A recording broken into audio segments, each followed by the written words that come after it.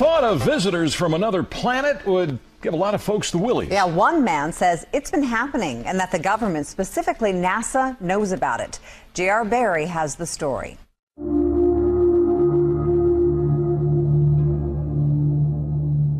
It's a question man has been asking for centuries. Are we alone? And could there really be life out there somewhere? For some, the answer is easy. NASA, they say, knows that alien life exists and that we're being visited on a regular basis. Maybe the powers to be are setting us up for disclosure and make, making it more subtle so that it doesn't isn't a big jolt to us. Clifford Clift is the worldwide director of MUFON, the Mutual UFO Network. They have some 1,000 investigators. One of their latest investigations has to do with this video from January 28th of this year. A mysterious light is seen descending from the sky in Jerusalem. Multiple videos have surfaced of the supposed event. They all show the light hovering above the Dome of the Rock. After a few seconds, there appears to be some sort of energy burst. And then the light zooms away. So, is this proof positive that aliens exist, or is it nothing more than an elaborate hoax? MUFON believes NASA knows for sure. They do have a significant amount of information about the UFO phenomenon and ETs that they have not disclosed that are still there. Some of the astronauts have come forward now and are indicating that they have seen and, and witnessed things that uh, were beyond their explanation.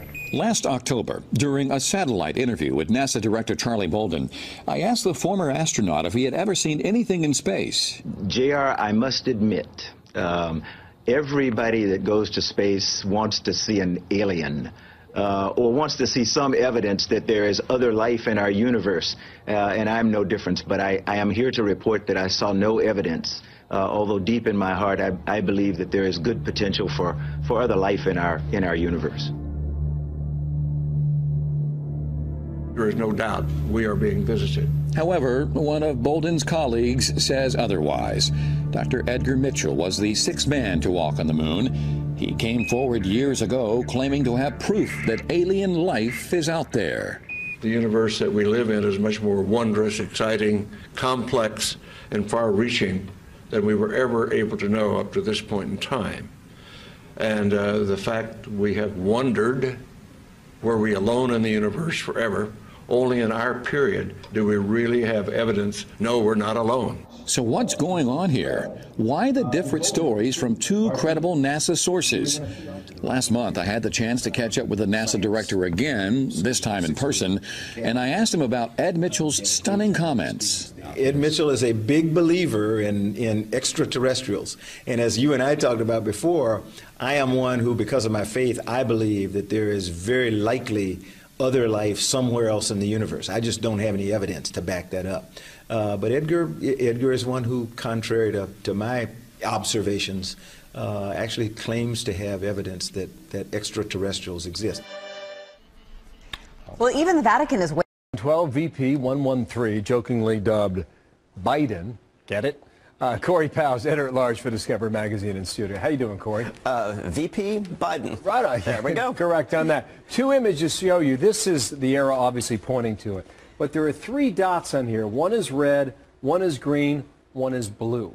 Right. What's significant? So this is this is the actual discovery image. Basically, two astronomers were looking one little patch of sky very, very far away, looking for exactly this kind of thing. Stars don't move. Planets or anything that's like a planet does. So this is color-coded. This is what they saw on different nights. They're looking for one thing moving. They color-coded it to, to show that all these stars are staying still. This thing is moving, and the way it's moving. So this is just one. It's one object, color coded. Is three, Pluto on this? Pl Pluto's in a whole different part of the sky. So this is way out there. This is way out there. Well, this is more than more than twice as far away as Pluto. Unbelievable. Why does this matter, Corey? Well, there are two ways you can look at it. I think you know, I look at it first of all as a as an exploration question that there, you know we know where we are on Earth. We've mapped our planet.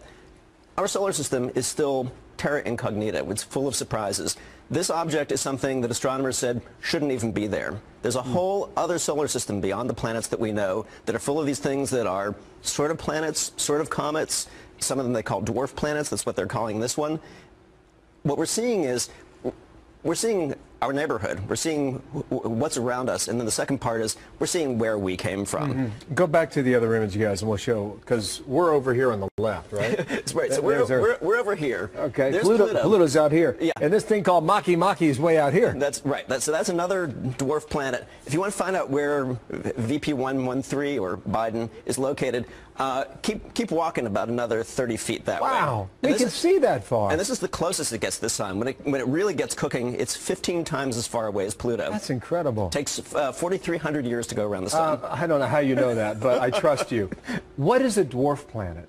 So a dwarf planet, the, the, the fact that you hear weird terms like that is actually scientists saying there are things out there we don't really understand. It's, it's, a dwarf planet is kind of a catch-all term for something. It's, it's round like a planet. It sort of looks like a planet, but it doesn't orbit in a, in a regular way like all the, all the planets that we but knew would, growing up. Would this be part of our solar system? So it's part of our solar would system. Would it be outside? It, it's, a, it's, a whole, it's a whole new zone. It's called, it's called the, they're calling it the inner Oort cloud.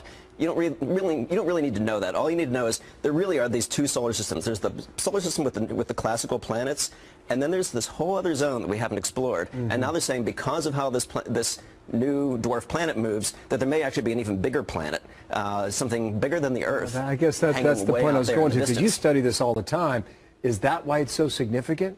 Because there's more beyond that? There's more beyond that, and then there's more beyond that. I mean, I think you know, what we're seeing is Okay. You know, if you if you if you watch the the show Cosmos, I, have been kind mm -hmm. of mm-hmm. glued to that. And in the last episode, they were talking about the discovery of comets and the discovery of of you know our place in the solar system. We're still learning that. We're still yeah, learning this right are. now, and Thanks it's still. In, man. All right. Yeah. We're, just we, like you're out of space, I'm out of time. But but this you know this is where we came from. This is why we're here. Oceans, continents, air, Thank you, us. Corey. It's all part of that. You got it, man. Good to have you back. back. Ingenuity huge amounts of computing power, and then hours and hours, months of discussions with colleagues and poring over the data to validate the results. Thank you. I realize you're focusing on near-Earth asteroids today, but uh, there's been so much talk about the potential for finding a planet X or some sort of large body uh, through the WISE survey. Can you comment on any uh, any status on, on, that sort of search, or, or maybe even reassure people that Planet X isn't coming to get them next year? Uh, yes, this is Amy Mainzer. I'm happy to answer this one. There, uh, Planet X is not coming to get us. Um, so, but we are looking to see if there are any other bodies in the outer part of the solar system with the WISE data. This is a very natural project for WISE.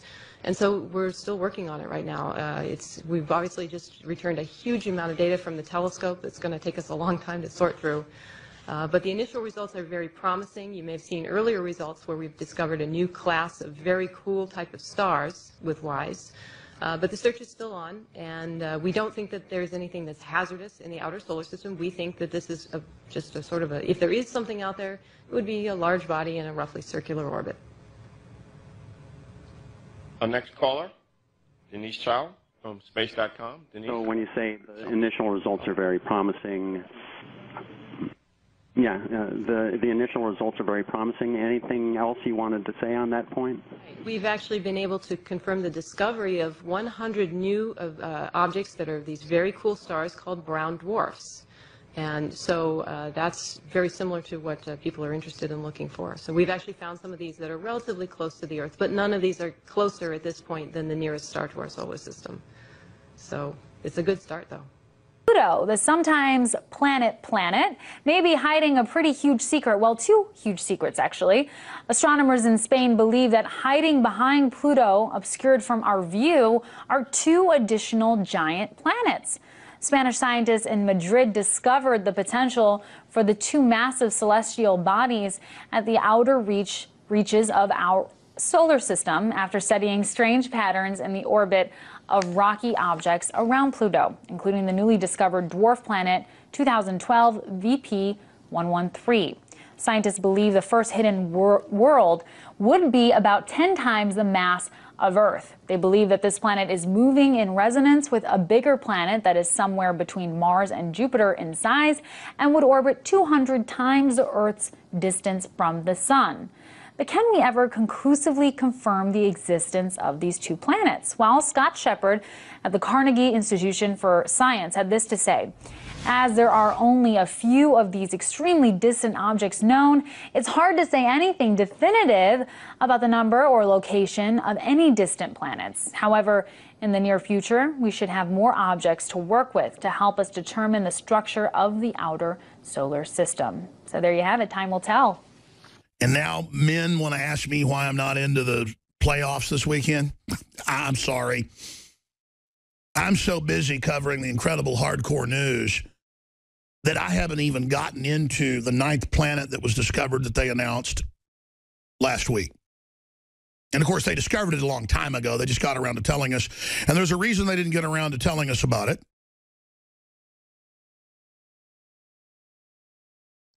I am someone who always got sick and tired of hearing about Planet X. Because as long as I've been on the air, people are saying it's coming next year, it's coming in three years, it's going to happen. The ancient said it comes through every 20,000 years in a different type of orbit that doesn't go in circles around the sun, but goes way out past the Kuiper Belt and comes in basically at an elliptical. And then I started reading deeper into this planet, and it, there it was, a 20,000 year deformed orbit going out into deep space, 10 times the size of the Earth. It is Planet X, folks. Isn't that just perfect that this would just show up while all this circus is going on? Now, now I want to be clear about this. It fits the bill of Planet X. They're probably 50, 60, 100, 1,000, I don't know, Planet X's. They've already chronicled hundreds and hundreds of planetoids bigger than Pluto in the Kuiper Belt out past the former ninth planet, named after the god of the underworld. A fitting name. The Roman god of hell. So they said no more ninth planet because we got to say we have hundreds of planets if there's things bigger than it. Well, Pluto's little. This sucker is gigantor. Compared to Pluto.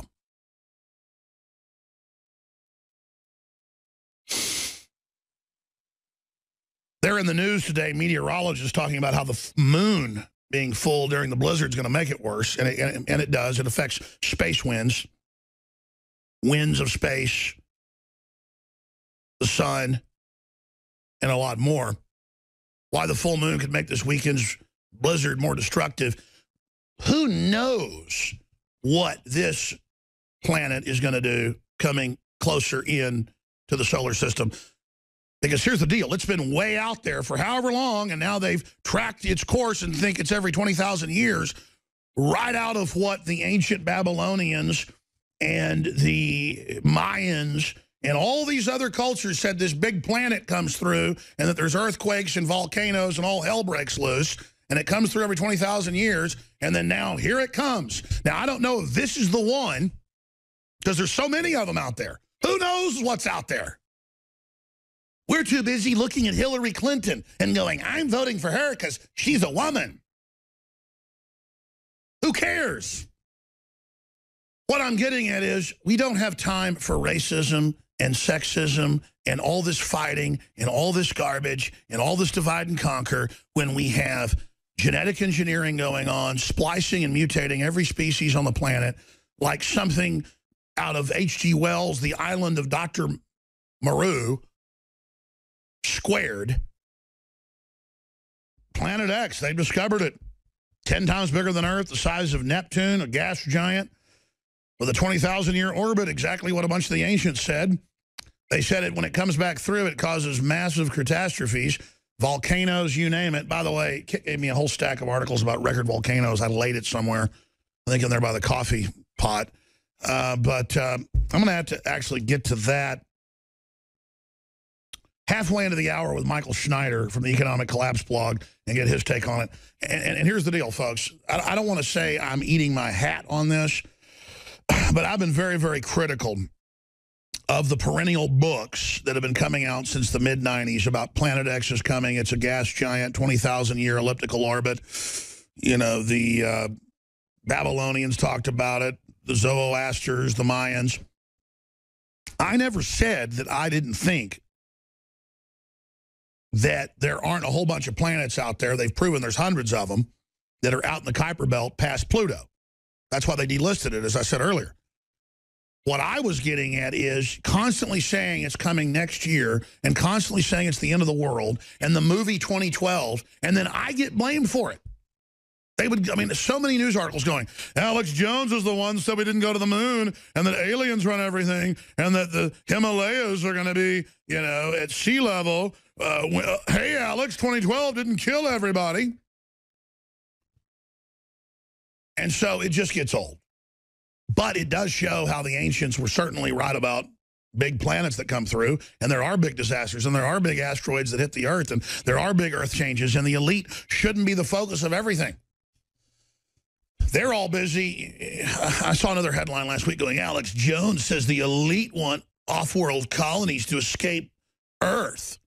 I was quoting top elitist on their way to Davos saying that was going to be up for discussion. It was mainstream news.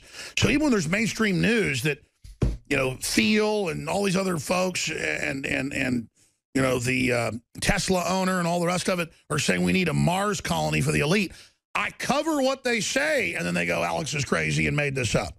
So see, that's how they operate. They think you're stupid. But I tell you, uncanny that the ancients said 20,000 years, bigger than the Earth, and all the rest of it, here it is. Um, the question is, we're trying to look at its orbit. I mean, is it even scheduled? I guess it's coming in closer. That's what they're saying. That's how they're able to, to see it now. It's coming in from this orbit. What is it? They're saying many, many, many times further out from Pluto. You one ugly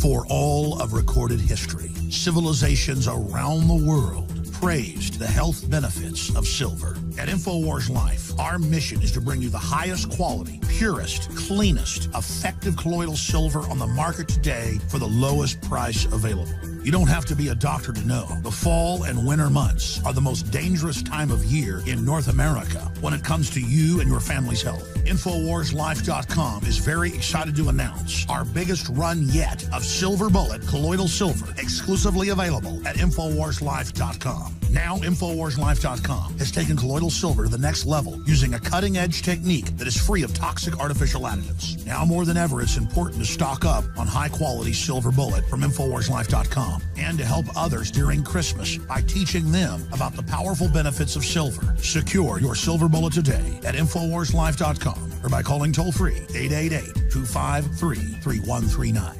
Rabbis for centuries for centuries, not recently, ladies and gentlemen, for centuries have had teachings where they have spotted comets and they've noticed what has happened a few years later. They've spotted a comet and they've noted what's happened years later. And they always will tell you the appearance of a comet means trouble for the world.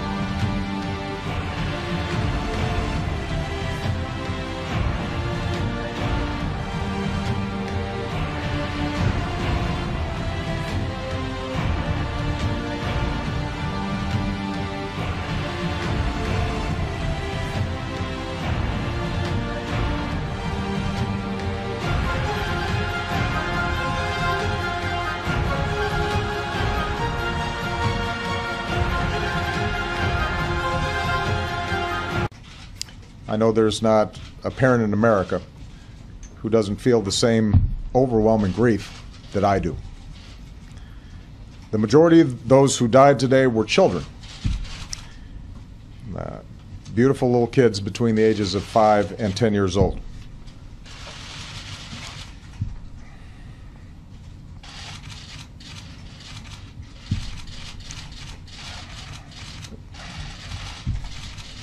They had their entire lives ahead of them birthdays, graduations, weddings, kids of their own.